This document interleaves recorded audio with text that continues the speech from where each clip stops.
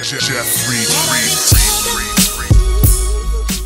great opportunities for young ladies in college basketball today.